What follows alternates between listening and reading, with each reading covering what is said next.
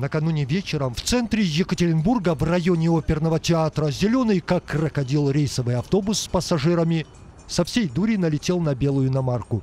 По свидетельству вечерних очевидцев, пилот Volkswagen Polo остановился на проспекте Ленина у обочины, поджидая пассажира.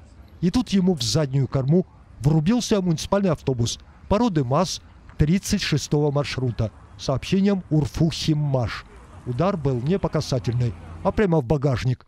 Подбитую иномарку автобус протащил метров 20, уверял один из свидетелей наезда, предположив, что автобусник легковушку, вероятно, даже не заметил, что, согласитесь, удивительно. С учетом горящих уличных фонарей и белоснежности пола на сером асфальте.